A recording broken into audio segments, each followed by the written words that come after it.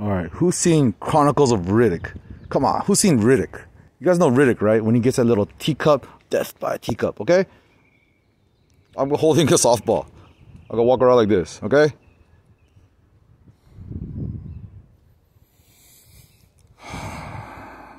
Having a smoke, just walking my neighborhood. See? Hi. Chronicles of Riddick. I'm holding a softball. Let's mm-hmm. see.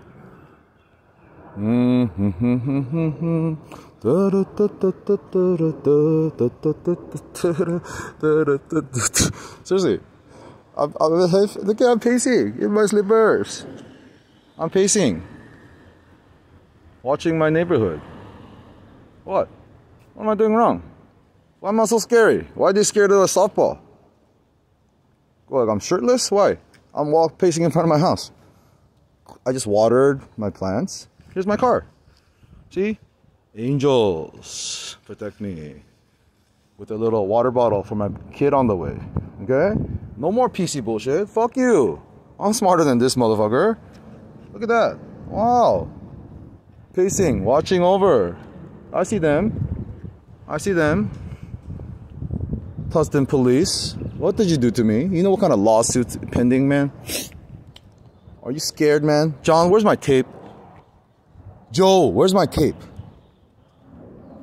Find me the tape where you guys put beef jerky on me. Now, find my tape. Tustin police officers, I'm calling you all out. Don't make me look make you look like an idiot again like I did at the Veterans Park. Come on, what I do wrong? Huh? Why? I keep asking you why. I love God and America, Constitution, freedom of speech and religion, First Constitutional Amendment. And the cop says, don't speak? Are you kidding me? First Amendment? You telling me not to talk and be friendly to my neighbors? What is wrong with you?